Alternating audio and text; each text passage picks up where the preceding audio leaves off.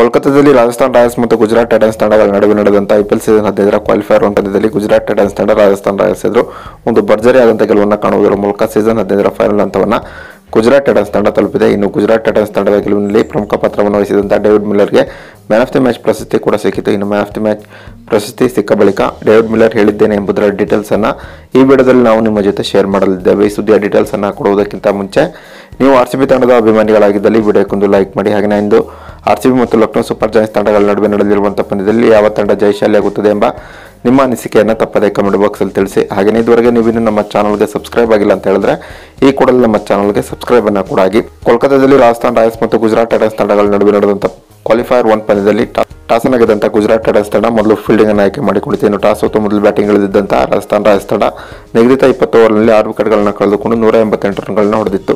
ಇನ್ನು ಗೆಲುವಿಗಾಗಿ ನೂರ ಎಂಬತ್ತೊಂಬತ್ತು ರನ್ಗಳ ಗುರಿಯನ್ನು ಪಡೆದಿದ್ದಂತಹ ಗುಜರಾತ್ ಟೈಟನ್ಸ್ ತಂಡ ಹತ್ತೊಂಬತ್ತು ಪಾಯಿಂಟ್ ಮೂರು ಓವರ್ನಲ್ಲಿ ಮೂರು ವಿಕೆಟ್ಗಳನ್ನು ಕಳೆದುಕೊಂಡು ಈ ಗುರಿಯನ್ನು ತಲುಪಿತು. ಈ ಮೂಲಕ ಗುಜರಾತ್ ಟೈಟನ್ಸ್ ತಂಡ ರಾಜಸ್ಥಾನ್ ರಾಯಲ್ಸ್ ಎದುರು ಕ್ವಾಲಿಫೈರ್ ಒನ್ ಪಂದ್ಯದಲ್ಲಿ ಒಂದು ಭರ್ಜರಿಯಾದಂಥ ಗೆಲುವನ್ನು ಕಾಣುವುದರ ಮೂಲಕ ಇದೀಗ ಗುಜರಾತ್ ಟೈಟನ್ಸ್ ತಂಡ ಸೀಸನ್ ಹದಿನೈದರ ಫೈನಲ್ ಹಂತವನ್ನು ತಲುಪಿದೆ ಅಂತಲೇ ಹೇಳಬಹುದಾಗಿದೆ. ಇನ್ನು ರಾಜಸ್ಥಾನ್ ರಾಯಲ್ಸ್ ಎದುರು ನಡೆದಂಥ ಕ್ವಾಲಿಫೈರ್ ಒನ್ ಪಂದ್ಯದಲ್ಲಿ ಗುಜರಾತ್ ಟೈಟನ್ಸ್ ತಂಡದ ಪರವಾಗಿ ಒಂದು ಸ್ಫೋಟಕವಾದಂಥ ಬ್ಯಾಟಿಂಗ್ ಪ್ರದರ್ಶನ ತೋರಿದಂತ ಡೇವಿಡ್ ಮಿಲ್ಲರ್ಗೆ ಮ್ಯಾಚ್ ದಿ ಮ್ಯಾಚ್ ಪ್ರಶಸ್ತಿ ಸಿಕ್ಕಿತು. ಇನ್ನು ಮ್ಯಾಚ್ ದಿ ಮ್ಯಾಚ್ ಪ್ರಶಸ್ತಿ ಪಡೆದು ಮಾತನಾಡಿದಂಥ ಡೇವಿಡ್ ಮಿಲರ್ ನಿಜಕ್ಕೂ ಕೂಡ ರಾಜಸ್ಥಾನ್ ರಾಯಲ್ಸ್ ಎದುರು ನಾನು ತೋರಿದಂಥ ಬ್ಯಾಟಿಂಗ್ ಪ್ರದರ್ಶನದಿಂದಾಗಿ ನಾನು ತುಂಬಾನೇ ಸಂತುಷ್ಟಗೊಂಡಿದ್ದೇನೆ. ಕೊನೆಯವರುಗಳಲ್ಲಿ ನಾನು ಸ್ವಲ್ಪ ಮಟ್ಟಿಗೆ ನರ್ವಸ್ ಆಗಿದ್ದೆ. ಈ ಹಂತದಲ್ಲಿ ಹಾರ್ದಿಕ್ ಪಾಂಡ್ಯ ಸರಿಯಾದ ಸಲಹೆ ಸೂಚನೆಗಳನ್ನು ನೀಡಿದರು.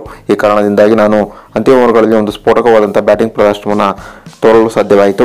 ಸದ್ಯ ನಾನು ಉತ್ತಮ ಲಯದಲ್ಲಿರುವ ಕಾರಣ ಫೈನಲಲ್ಲೂ ಕೂಡ ಇದೇ ರೀತಿಯಾದಂಥ ಒಂದು ಉತ್ತಮವಾದ ಪ್ರದರ್ಶನವನ್ನು ತೋರುವುದರ ಮೂಲಕ ಗುಜರಾತ್ ಟೈಟನ್ಸ್ ತಂಡಕ್ಕೆ ಈ ಬಾರಿ ಐ ಪಿ ಎಲ್ನಲ್ಲಿ ಚಾಂಪಿಯನ್ ಅನ್ನಾಗಿ ಮಾಡಬೇಕೆಂಬ ಕನಸನ್ನು ಹೊಂದಿದ್ದೇನೆ. ಈ ಕನಸು ಎಷ್ಟರ ಮಟ್ಟಿಗೆ ನೆರವೇರುತ್ತದೆ ಎಂಬುದನ್ನು ಕಾದು ನೋಡಬೇಕಾಗಿದೆ.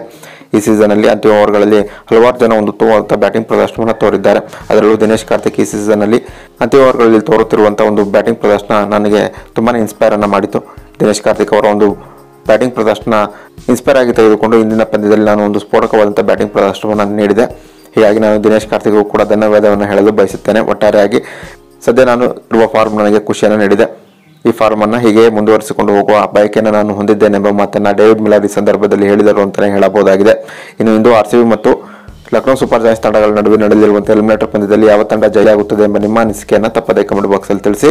ಹಾಗೆಯೇ ಇದುವರೆಗೆ ನೀವಿನ ನಮ್ಮ ಚಾನಲ್ಗೆ ಸಬ್ಸ್ಕ್ರೈಬ್ ಆಗಿಲ್ಲ ಅಂತ ಹೇಳಿದ್ರೆ ಈ ಕೂಡಲೇ ನಮ್ಮ ಚಾನಲ್ಗೆ ಸಬ್ಸ್ಕ್ರೈಬ್ ಅನ್ನ ಕೂಡ ಆಗಿ. Thank you